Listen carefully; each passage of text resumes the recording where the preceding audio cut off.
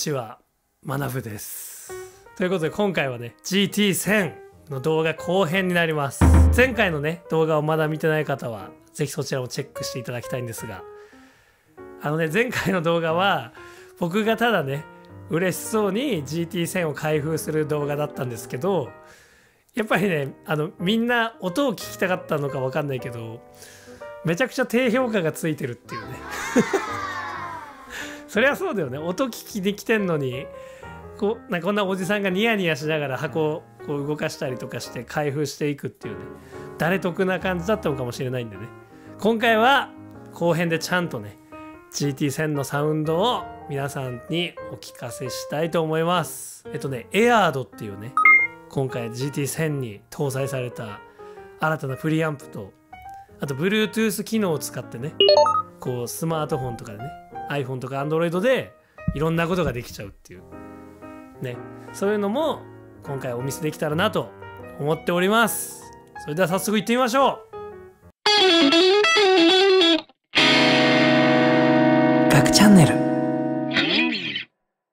はい。それでは早速ね GT1000 のサウンドを皆さんと一緒に聞いていきたいと思います。でね2カメも使ってねがっつり GT1000 のこともね撮影してやっていきたいと思います。じゃあまず早速 GT1000 の電源をね入れてみますよ。ほいポチッとな。このねブルーの感じかっこいいですよね。青い感じ。で今ユーザーの03の1っていうパッチが選ばれててこれねイニシャライズパッチって言ってちょっと僕初期化しております。あの最初に入ってるパッチでやってもいいんですけどやっぱり自分で音作っていくこう流れでねあのお伝えした方が分かりやすいかなと思ったんで今回はあの初期状態にして皆さんと一緒にねどんな感じで音を作っていくのかっていうのをそこにも注目しながらやっていきたいなと思っております。じゃあまずねこのエフェクトボタンっていうのを押してちょっとねズームしますね。そうするとねこういうかっこいい画面になるんですけどこれね6番のノブをグリグリっと回してねどこをエディットするのかどのブロックをエディットするのかっていうのを選びます。で今ねこれ AIRD プリアンプ1っていう風になってるんですけどこれで今ナチュラルっていうタイプが選ばれてるんですけどこれをねさらにこの1番のつまみを回して一番最初にね選ばれるやつはトランスペアレントっていうやつですね。そう初期設定ではナチュラルになってんだけどさらに左に行けるんですよね。でこれ以上左回しても何もないんで。トランスペアレントですね。このエアードプリアンプは何なのかとおっしゃいますとこれはねアコースティックギターを接続するために最適化されたプリアンプなんですよね。これすごいいいですよね。安心してエレアコンを接続できます。ちょっとどんな感じになるのかね。もうただこのプリアンプ選んだだけの設定ででイニシャライズした時にこのリバーブがねうっすらかかってる状態がデフォルトなんですよね。多分ボスさんがそういう風にねしてるんでこれはまああえてそのままにしてこのトランスペアレントのプリアンプにアコギをつないでねちょっと音出してみたいと思います。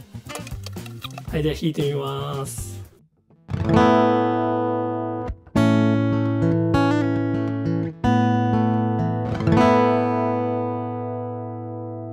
いい感じの音ですね。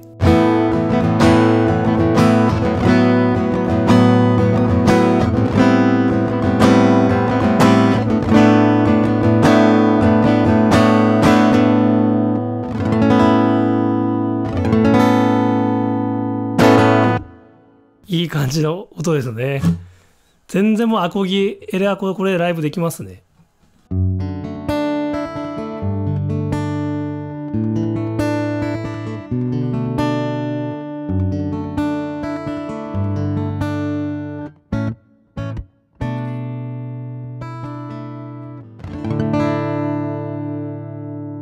コンプとかもかけてみましょうか、せっかくだから。コンプは、この左の、ワウの隣にありますね。この6番の、このノブを、なんと押すことができるんですね。回すんじゃなくて。そしたらオンになります。これ X コンプ。まずオフの状態こうですね。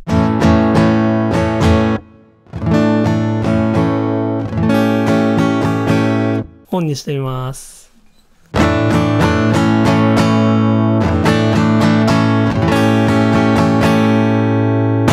一気に音太くなりましたね。もう一回弾いてみますね。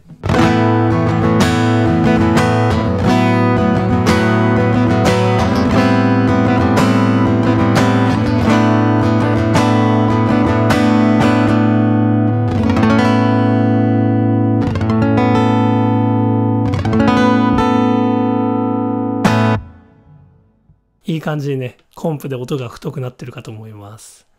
トランスペアレントね。これで安心して、えっ、と、エレアコのね、アコースティックライブでも GT1000 を使えるっていう感じですね。はい。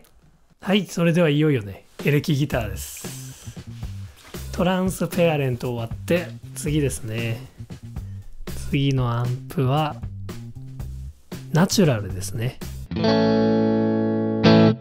通のクリーントーンですね。綺麗なクリーントーン。これはアンプ固有のトレブリー感やブーミーな低音の癖を抑えた素直なクリーンサウンドですって書いてありますね。素直なクリーンサウンド。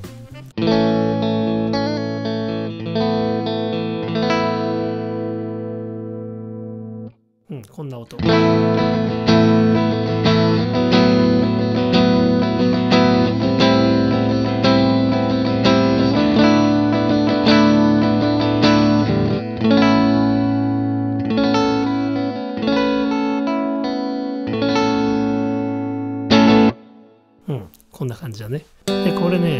ブライトスイッチついてますね。これオンにしてみましょう。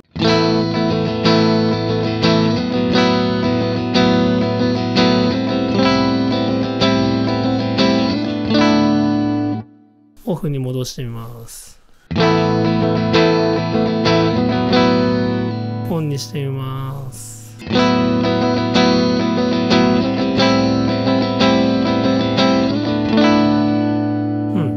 結構きらびやかな感じ。綺麗になるね。じゃあこれにコーラスも足して、コーラス、CHO って書いてますね。デュアルにしようかな。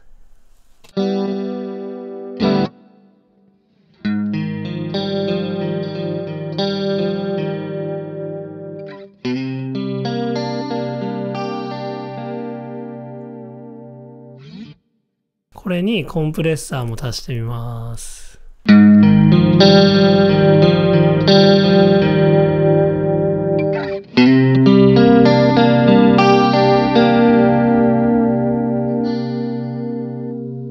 迫力増しますね。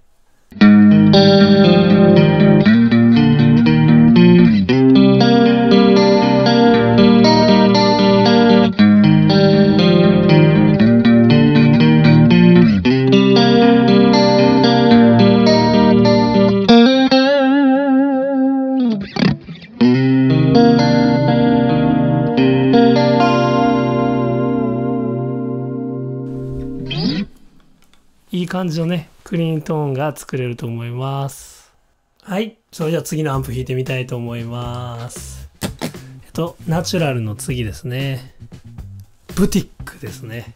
従来のコンボアンプの表現力を超えたピッキングのニュアンスを忠実に再現できるクランチサウンドですって書いてますね。はい。じゃあ弾いてみましょう。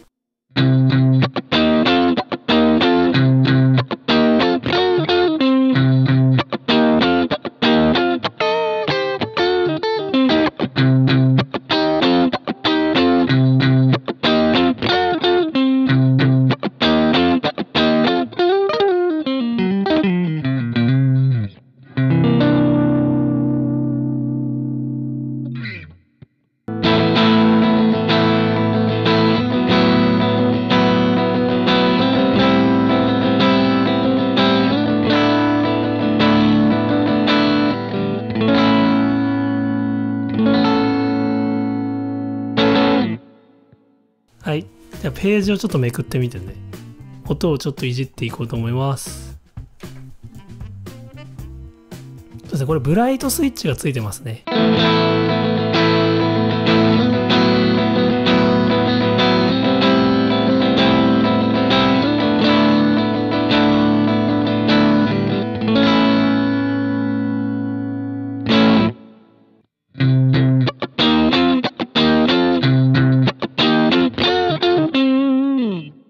さっきよりちょっとキラキラしましたね。でこのクランチとかになってくると大事になってくるのがゲインスイッチっていうねこの一番左側にあるここなんですけどこれがね今ミドル中間になってますね。でこういうクランチとか歪みの時にちょっと歪み足りないなと思ったらこのスイッチをハイにしてあげるっていう。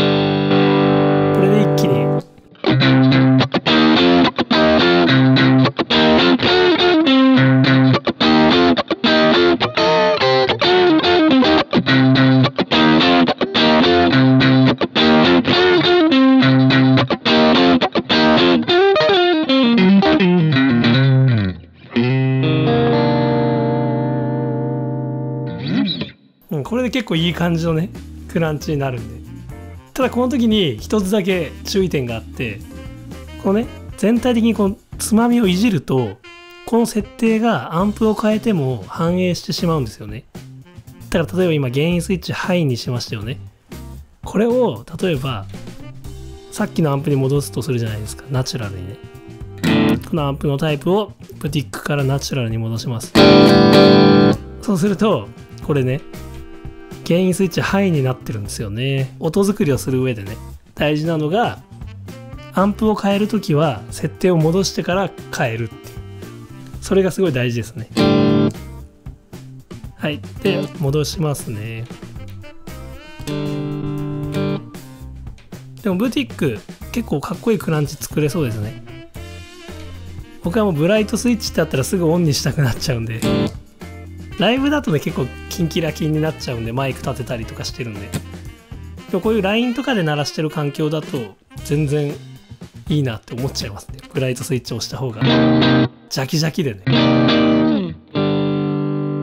これはゲインスイッチあった方がかっこいいな。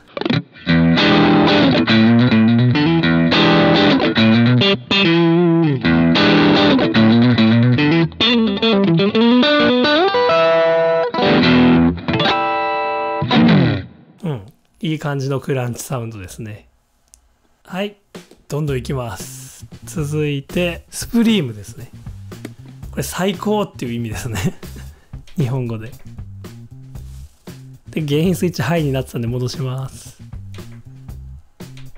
他のね原因とかこのサグとかレゾナンスとかレベルとかね他のパラメータも全部反映されちゃうんで次のアンプに変えてもねそれだけ要注意です。はいじゃあ早速スプリームねどんなアンプなんでしょうか。4×12 スピーカー特有のキャビネット感を生かしつつピッキングの強弱に応じて反応する心地よいクランチサウンドです。でクランチ続いてきましたね。スプリーム。最高っていうぐらいだから結構いい感じなのかな。ちょっと弾いてみますね。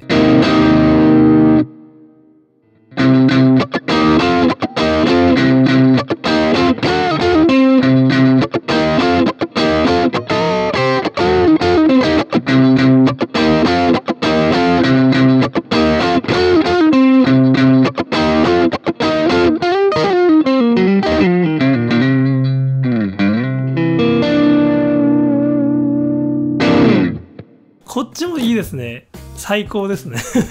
スプリームっていうだけに最高です。こっちの方が若干さっきのブティックより歪みますね最初から。これはブライトスイッチはついてないですね。ゲインスイッチ今ミドルからハイに変えてみます。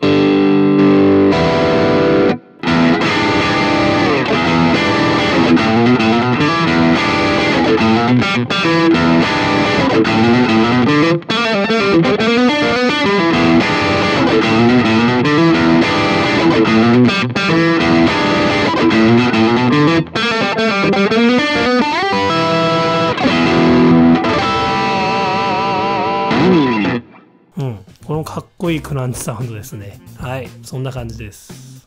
はい、じゃんじゃん行きましょう。スプリームね、最高の次は、こちらマキシマムですね。ヴィンテージマーシャル特有の反応の良さと音質のまま、さらに背弦化したアンプですって書いてますね。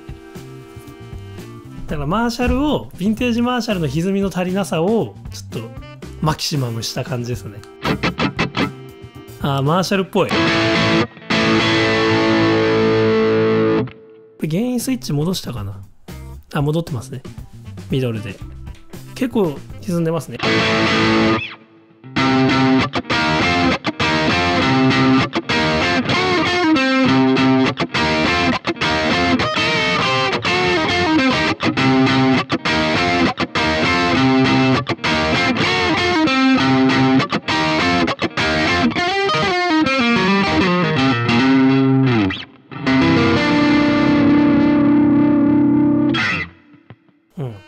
感じに歪みます。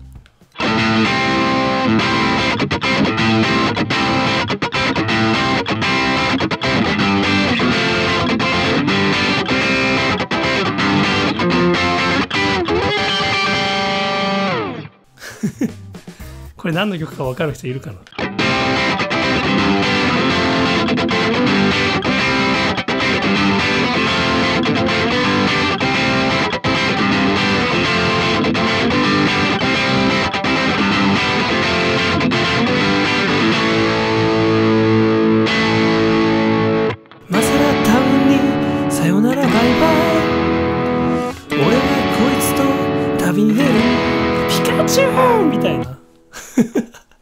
ノリノリになっちゃうね。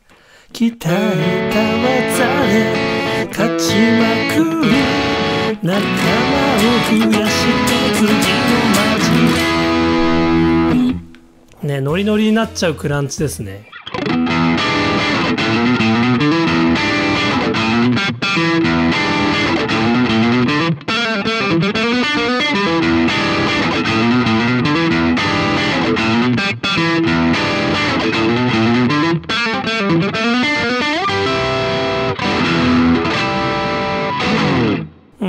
までのクランチの中では一番好きかも。好きですねこのマーシャル。マキシマム。ゲインスイッチハイにしてみます。もっと歪みましたね。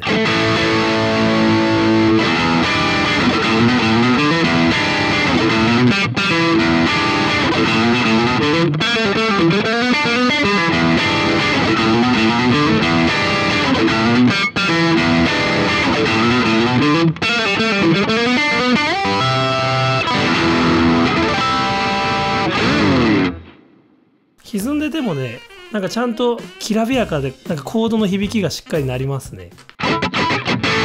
さすがですね。エアード。やばいです。はい。続いてねマキシマムの次はジャガノートですね。究極のメタルサウンドを追求してチューンアップされた大型スタックサウンドですって書いてますね。究極のメタルサウンドですよ皆さん。どんな感じなのか音をね早速聞いてみましょう。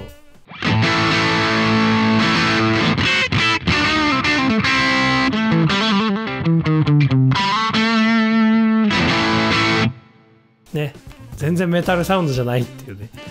でこれはゲインスイッチをね押してあげましょうこういう時はね。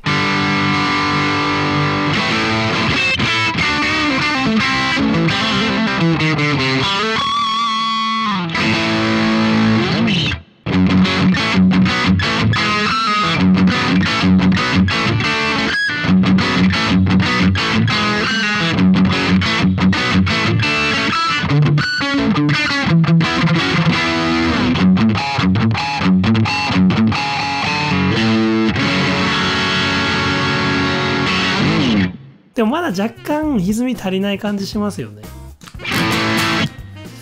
じゃあちょっとゲインスイッチミドルに戻して普通にゲイン上げてみますね。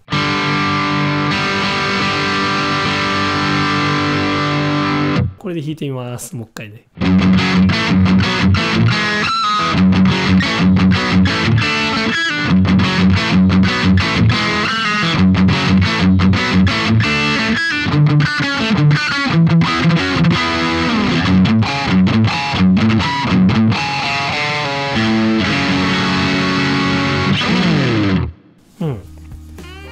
ちょいな感じしますね。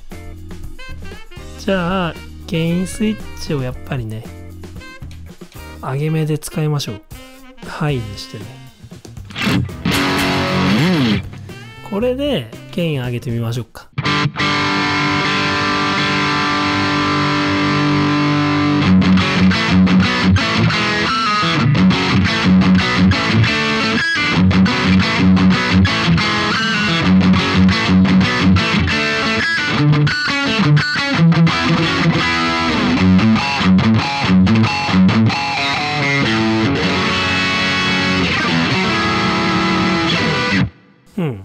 結構アンプ単体でも歪みますよね。これぐらいやれば。ゲインスイッチハイにしてゲインも80とかにすれば。でさっき言った要注意点なんですけど今ゲイン80にしたんですけどこの時にねアンプを変えちゃうとそのまんまゲイン80のまんまになっちゃうんでね。このナチュラルっていうクリーントーンでもめっちゃ歪んだ歪んだっていうか元気良すぎる音になっちゃうんで。れは要注意です。必ずアンプを変える時は戻しましょうと。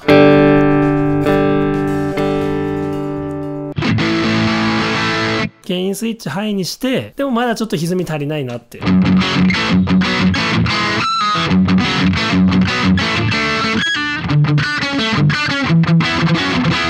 もうちょいパワー欲しいなってなったらこの場合はね GT1000 にはエフェクトがたくさん入っているのでここですね。ディストーション1っていうのをね追加してあげましょう。これで6番のスイッチを押します。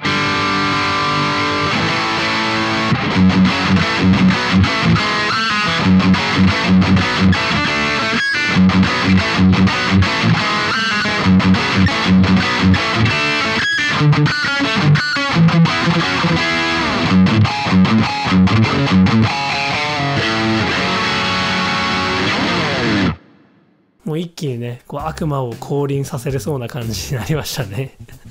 弾いててもね心地よいですね。これぐらい歪んでると。で僕のおすすめとしてはえっとバッキングでちょっと歪み足りないなっていう今みたいな時はブルースオーバードライブ。これですね。これ足してあげるのがおすすめです。なんかアンプの元のね音の輪郭を残したまんま歪んでくれる感じがします。原因だけね追加してくれるっていう。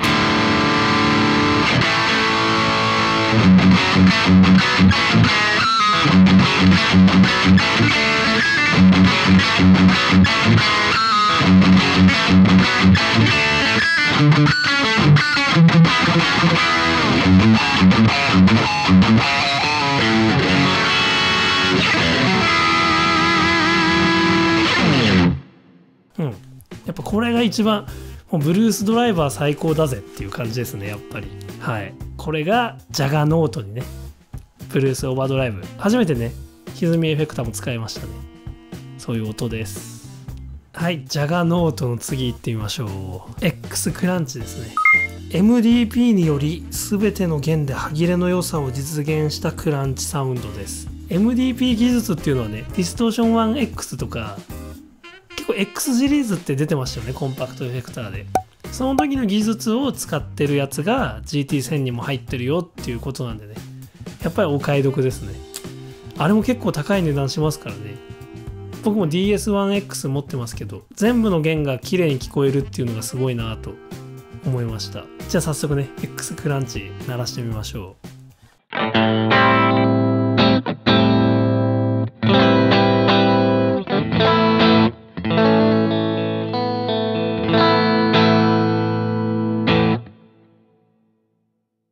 ねブライトスイッチついてるんでオンにしてみます。今オンになりました。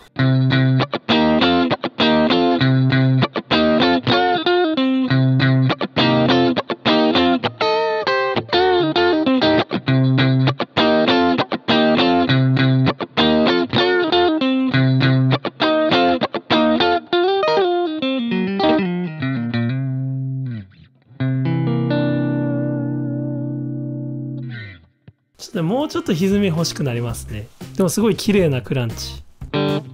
ゲインスイッチをハイにしてみますね。お来た。結構上がります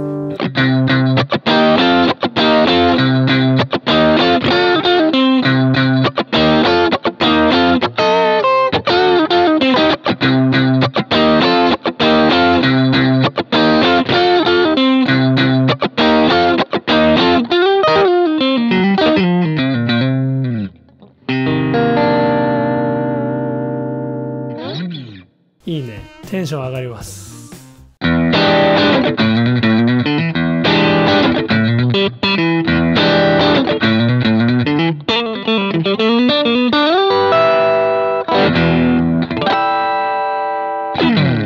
うんやっぱりり全部の弦が結構バランスよくなりますね。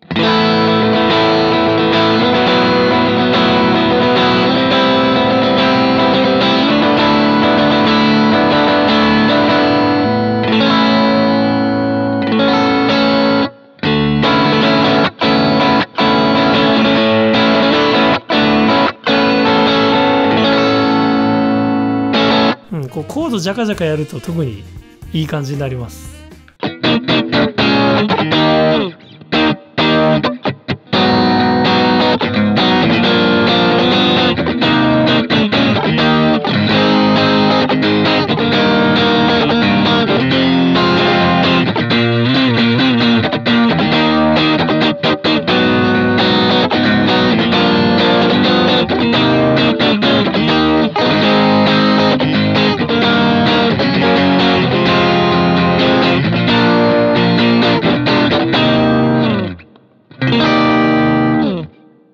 いい感じのクランチサウンドです。はいそれでは X クランチの次にね X ハイゲインを試してみたいと思います。X ハイゲインはね MDP によりレンジが広く心地よい分離感が得られるハイゲインサウンドですって書いてますね。早速試してみましょう。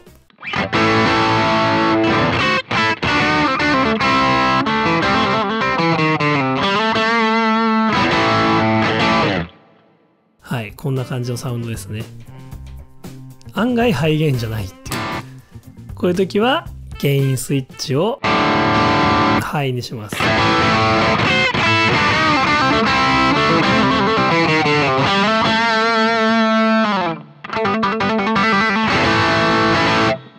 うん結構いい感じに刻みましたね。でもまあちょっとメタルとかやるには心もとない感じ。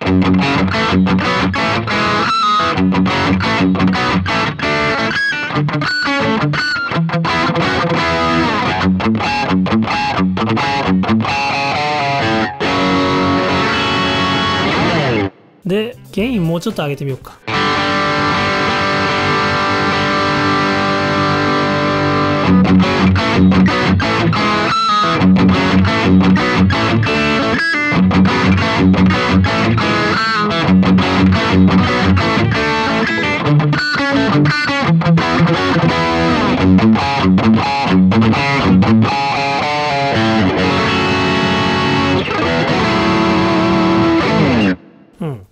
感じに歪みましたね。でもやっぱりゲイン半分ぐらいでこのディストーション1をね足すのがやっぱりいいかなって思いますね。ブルースオーバードライブねいつものオンにしてみましょう。あのバッキングの歪みが足りない時はブルースオーバードライブがおすすめです。さっきもね言いましたけど。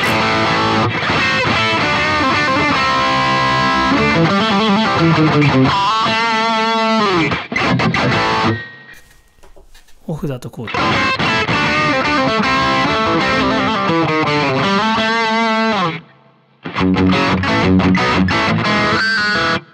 オンだと。うん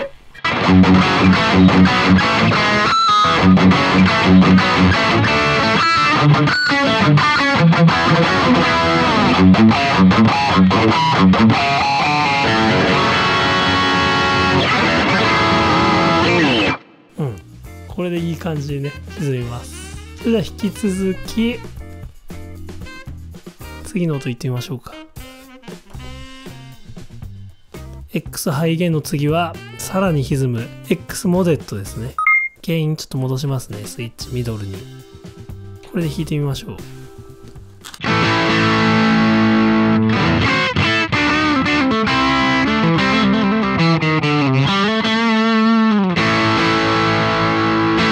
ちなみにこの X モモデットっていうのが僕一番好きな歪み系アンプの中でね今回一番気に入ったアンプです。これもねゲインスイッチをちょっと上げてみましょうか。今ミドルなんでハイにしてみます。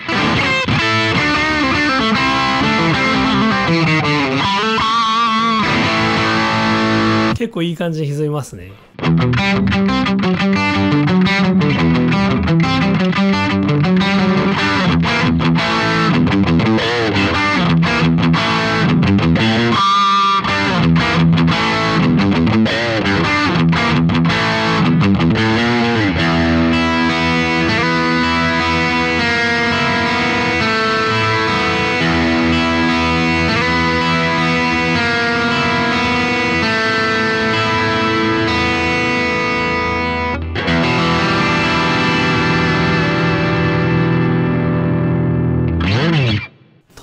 シャムシェードっていうね。でもこれもやっぱり全部の弦綺麗になりますね。たまらないですね。ちょっとリーフ弾いてみます。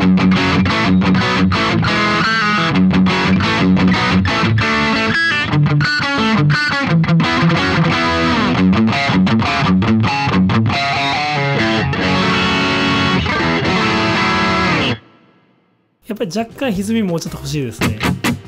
メタルっていう感じのフレーズを弾くんだったらブルースワイバーオンにしてみます。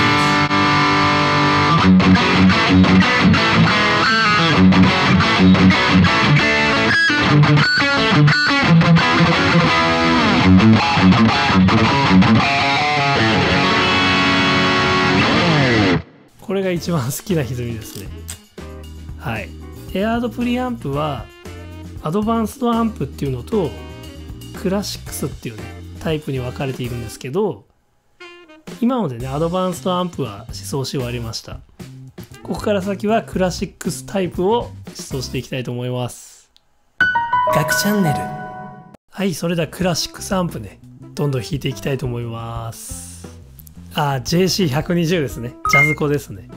まさにクラシックスですよね。ローランドが生んだ名機です。そっくりですね。ジャズコですフライトスイッチもオンにしてみましょうか。もうまさにジャズコですね。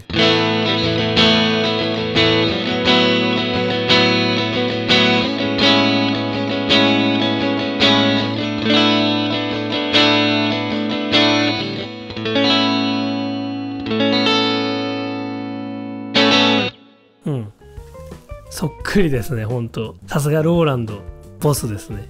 ではせっかくなんでコーラスかけたりねしたいですね。コーラスかけてみましょう。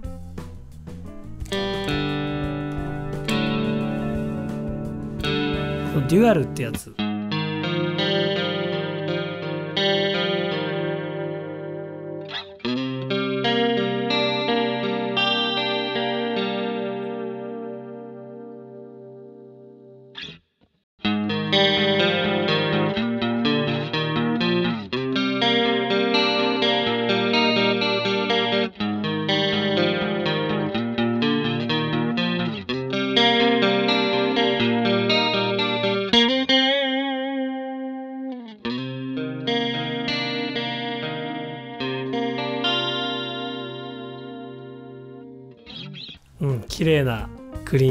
ですね。まさにジャズコっていう感じです。それでは続きましてツインコンボですね。フェンダーですね。まずブライトスイッチをオフにして弾いてみたいと思います。こちらはですねフェンダーのツインリバーブのモデリングですね。弾いてみます。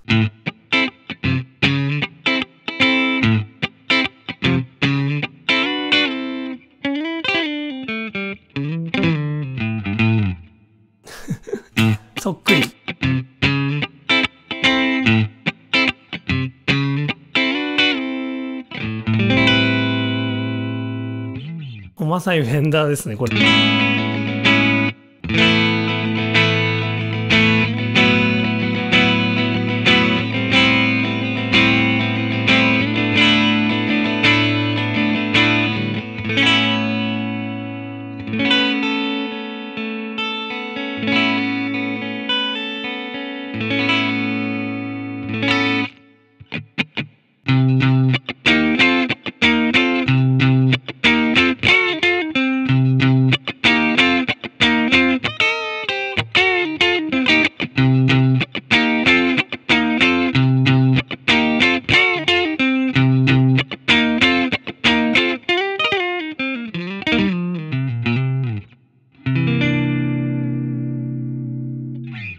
フェンダーですね。ではこちらもブライトスイッチをオンにしてみます。もうシャキシャキですね。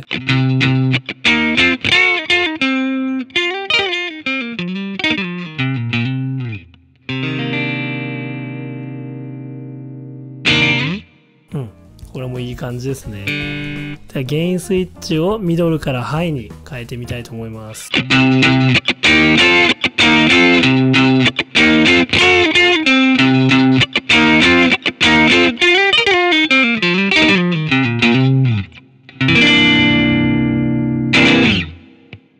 ャキですね。はいそれでは設定を戻して次のアンプに行ってみたいと思います。デラックスコンボ。これはフェンダーのデラックスリバーブですね。弾いてみましょう。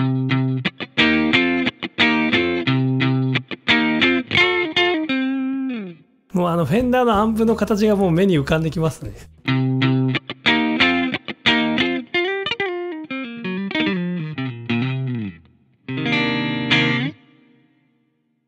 こちらもゲインスイッチをね上げてみたいと思います。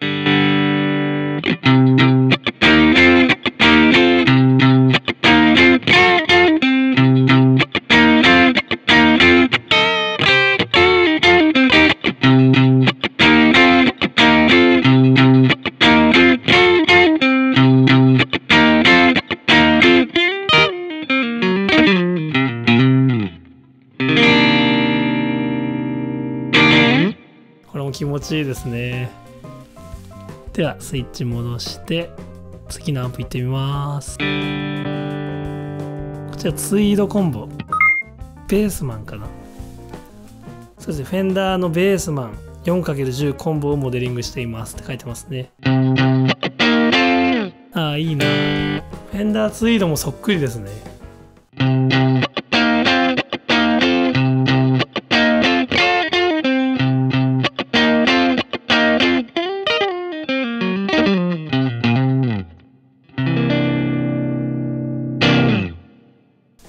こちらもゲインスイッチを上げてみます。あ結構上がります。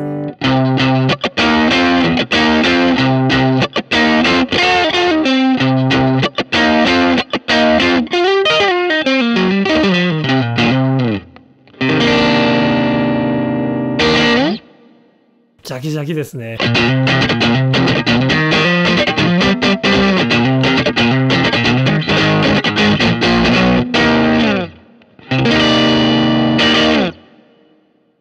いい感じです。ゲインスイッチ戻してアンプ変えてみます。ダイヤモンドアンプですね。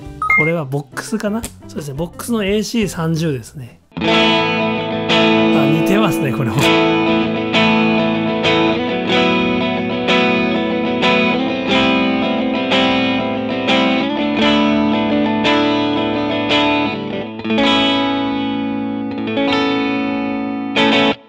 キラキラ感ありますよね。ボックスの。じゃあゲインスイッチを上げてみます。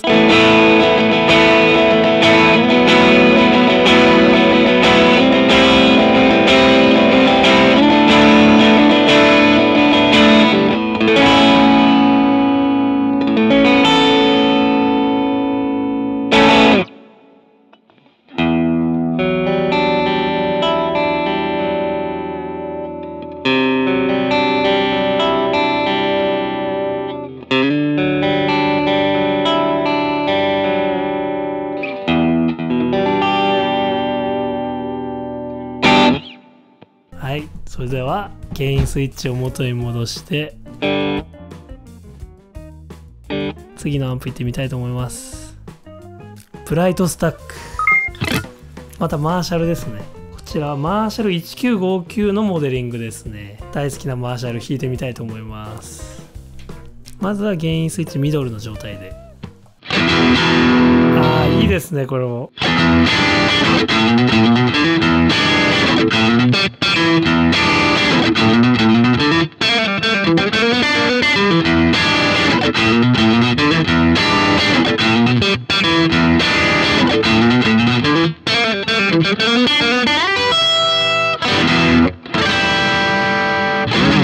いいですね。マーシャルですよね。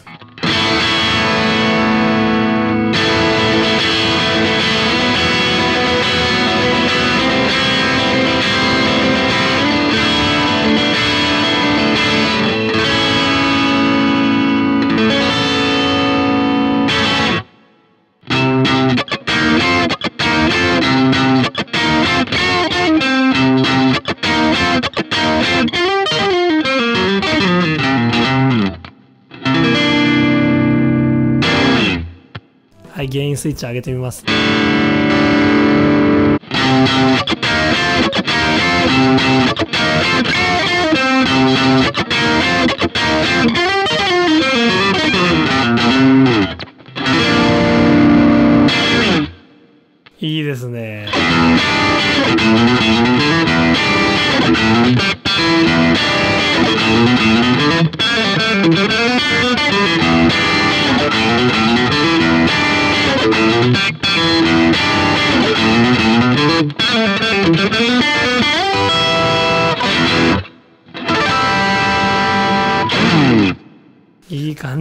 シャルですねこれも。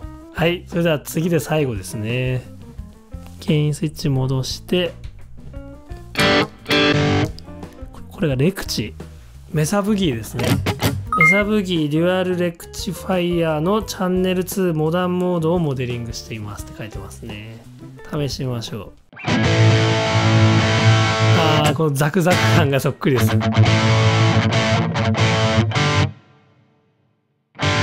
これもゲインスイッチ上げてみます。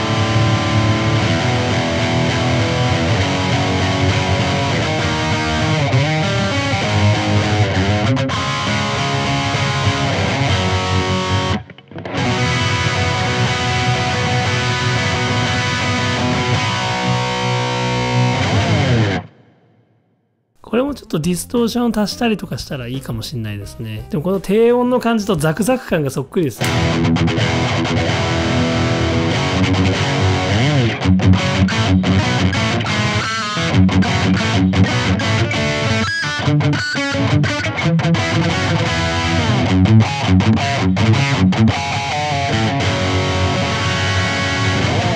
音圧がある感じがねそっくりですね。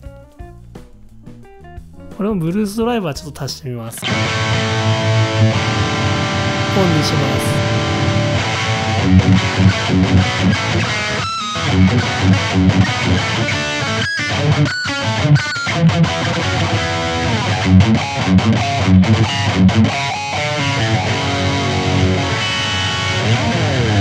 ちょっと歪みすぎかな。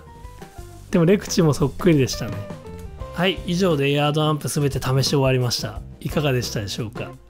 この後はコントロールアサインやあと Bluetooth のね使い方なんかを試していきたいと思います。